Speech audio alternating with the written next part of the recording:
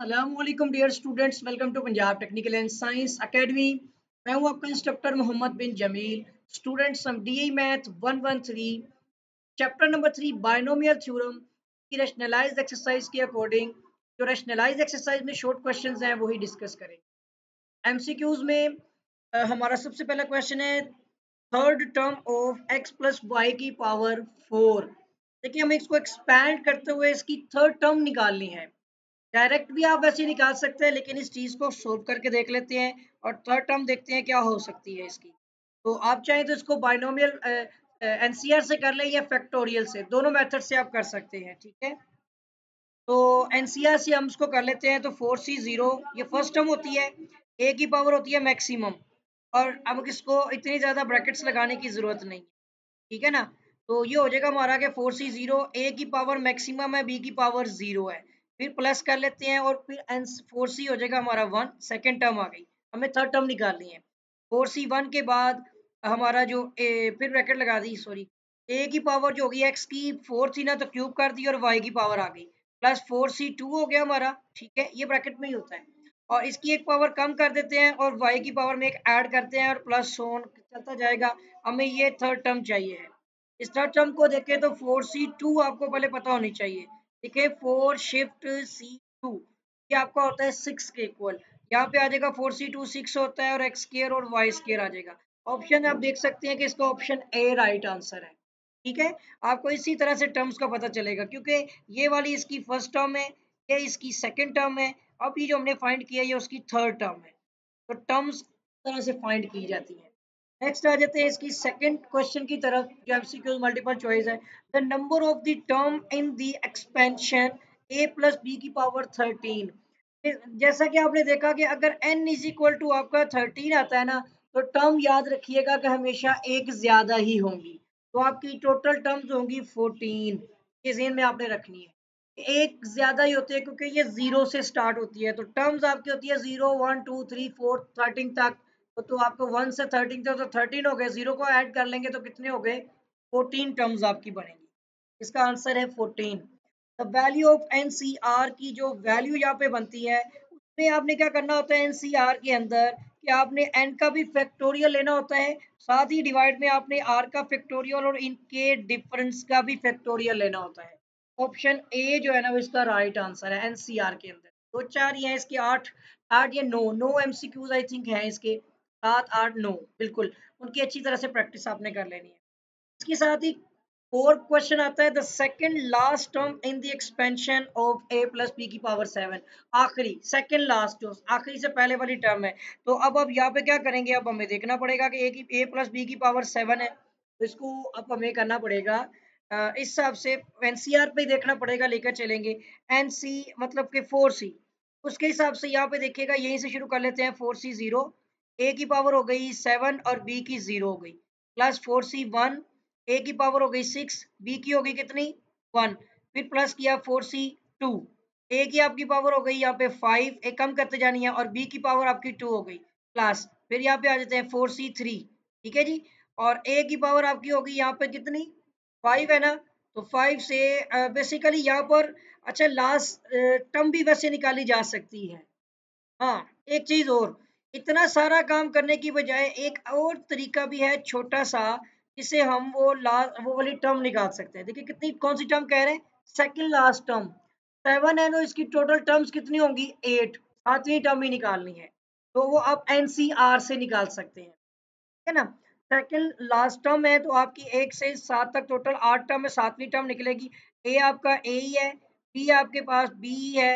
N आपके पास seven है तो second last term r plus one equal to अगर आप देखेंगे तो वो हमारी टर्म सातवीं बन रही है। हमने सातवीं टर्म ही निकालनी है। तो r plus one equal to seven करें r equal to seven minus one करेंगे तो सिक्स हो जाएगा। टर्म आपने निकालनी है, यहाँ पर आर प्लस वन इससे निकलती है। तो एन सी आर ए की पावर हो गई एन माइनस आर और बी की पावर आर इस तरह भी निकाल सकते हैं। टर्म आपकी हो गई सिक्स प्लस वन करेंगे तो सातवीं टर्म मिलेगी आपको। तो एन सी आर में आपका क्या है n seven seven C six हो गया। ए आपके पास ए या ए की पावर होगी सेवन माइनस सिक्स और बी की पावर कितनी होगी आपकी यहाँ पे? बी की डेफिनेटली सिक्स हो जाएगी। है ना? आर जो सिक्स है। टर्म सेवन है आपकी।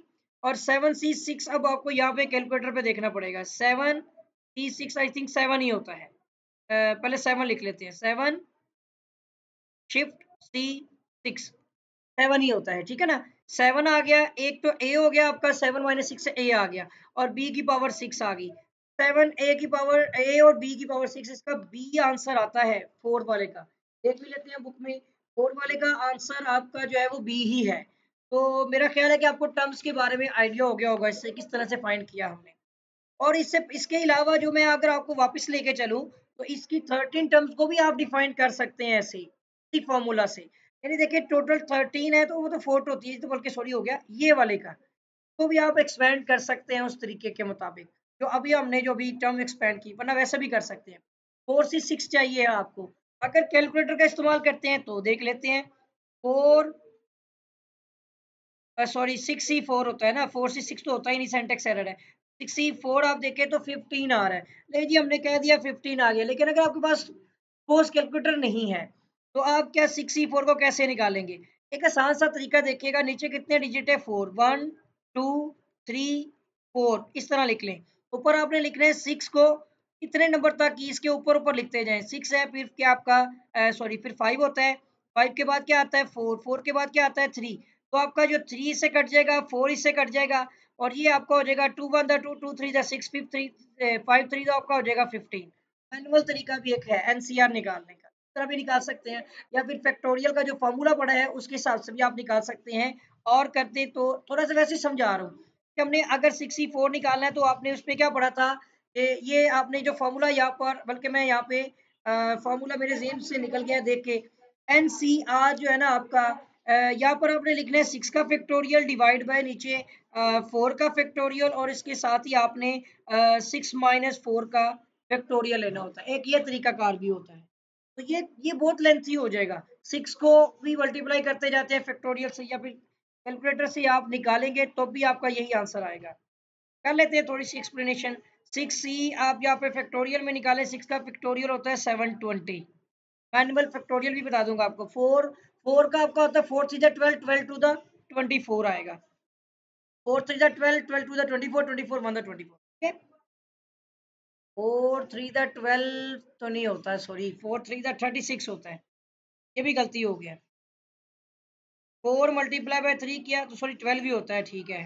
मैं सही कह रहा हूँ मुझे गल, गलती लगने लग पड़ी है। ट्वेंटी फोर ही आता है ठीक है। अगर देखिए ट्वेंटी फोर आ रहा है इसको कैसे किया? वैसे सिक्स का भी आप देख सकते हैं six multiply by five multiply by four multiply by three multiply by two multiply by one. ऐसे ही करके हुए ये वैल्यू आपकी सेवन ट्वेंटी बनी ऐसे मैनुअल निकलता है आपका फैक्टोरियल। इसी तरह से यहाँ पर आपका फोर का फैक्टोरियल ये हो गया ट्वेंटी फोर और ये सिक्स माइनस ये आपका अगर टू फोर करेंगे तो कितना हो गया? टू टू का फैक्टोरियल टू ही होता है। अब आप चाहे तो इसको सारे को सोल्व करके देखें। देखिएगा आप seven twenty seven twenty divide by आपने करना है यहाँ पे। ट्वेंटी फोर टू का कितना होता है? फोर्टी एट फोर्टी एट से कर दें डिवाइड तो आपका फिफ्टीन ही आएगा। ये देख लें। बहुत सारे तरीके हैं इसके एनसीआर निकालने के। फिर थ्री सी ज़ीरो आपका जो है ना वो वन होता है। ये आपने एक चीज़ याद रख लेनी है कि एन सी कोई भी ज़ीरो पे अगर आती है थ्री शिफ्ट सी ज़ीरो आपका हो गया वन के इक्वल सही है? तो ये तो ऐसे ही रहेगा। उसके बाद आप आते हैं यहाँ पे क्वेश्चन सेवन के ऊपर। In the expansion of a plus b की power n the general term is term का फॉर्मूला है general term r plus one जो होती है, क्या होता है? एन सी आर ए की पावर एन माइनस आर होती है और बी की पावर आर होती है। ये जर्नल टर्म का फॉर्मूला है टर्म्स निकालने का। तो इसमें देखें कौन सा है ये? बी एनसीआर ए की पावर एन माइनस आर और बी की पावर आर ये आपका फॉर्मूला है। क्वेश्चन नंबर देखिए, अब सेवन तक हो गए उसके बाद eight nine ten eleven twelve तक नहीं है इसके अंदर। थर्टीन और सिर्फ़ सिक्सटीन ये दो ही होंगे। एन सी एन जैसे फोर सी फोर वन होता था एन सी एन भी आपका वन ही होगा। एन मीन कोई भी डिजिट ले ले फोर सी फोर कर ले फाइव सी फाइव कर ले, अब फाइव ले ले फाइव सी फाइव तो वन ही होगा। मतलब n C n five sorry one है। कोई भी नंबर अगर उसी के एनसीआर पे आ जाए तो वो वन ही होगा। उसके बाद आपका बाइनोमियल सीरीज़ फोर फोर आपका वन प्लस एक्स की पावर एन अगर होती है तो ये आपको होता है कि अगर एन का अगर डिटर्मिनेंट लिया जाए और वो लेस देन टू वन होना ये शर्त होती है इसकी। तभी आपका जो बाइनोमियल थ्योरम है वो वैलिड होता है। यहाँ तक हमने इसके मल्टीपल चॉइस क्वेश्चन जो है वो आ, मैंने आपको एक्सप्लेन किए मैंने पूरी कोशिश की आप जो है वो इसको एक्सप्लेन करने की और आप जो है वो इसको अंडरस्टैंड कर सके कि हम क्या डिस्कस कर रहे थे। और इसके साथ ही स्टूडेंट अच्छी तरह से प्रैक्टिस कीजिएगा। अब तक के हमने इसके जो है ना binomial theorem chapter three, math one one three का और चैप्टर टू है, मैथ वन टू थ्री जो कि इलेक्ट्रिकल इलेक्ट्रॉनिक्स का है। और इन दोनों का ये सेम चैप्टर है, अच्छी तरह से प्रैक्टिस करनी है आपने। आपको इसके जो है ना प्लेलिस्ट में सबके सब जो है वो एक्सरसाइज के क्वेश्चन और शॉर्ट क्वेश्चंस और आपके जो मल्टीपल चॉइस क्वेश्चन है, वो सबके सब आपको अरेंज किए हुए मिल जाएँगे प्लेलिस्ट में। इसके साथ ही अगर आपने अभी तक मेरे चैनल को सब्सक्राइब नहीं किया तो चैनल को सब्सक्राइब भी कर लें। साथ ही बेलाइकन पर क्लिक भी कर दें, वीडियो को लाइक करें, शेयर करें। कोई भी क्वेश्चन क्यूरी वगैरह तो कमेंट कीजिएगा। आपके साथ भी मुलाकात होगी। दुआ में याद रखिएगा। अल्लाह हाफिज़।